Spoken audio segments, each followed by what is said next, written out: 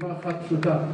הם אמרו לי בפגישה, עד רגע מסוים חתונה, מרגע מסוים מועדון. עכשיו אני אומר ככה, הבאתי את הבחור הזה, שהוא אחד הכנרים הכי טובים באירופה, אני לא צוחק. הוא לא עושה חתונות, אני ביקשתי ממנו טובה אישית לבוא. אין דברים כמוהו, הבאתי אותו מסיבה אחת בלבד, וזה להתחיל לשחק לכם בראש. אז אני מקווה ששתיתם מה ששתיתם, תדלקתם מה שתדלקתם, כי בתכלס הוא טוב בשביל העניין הבא.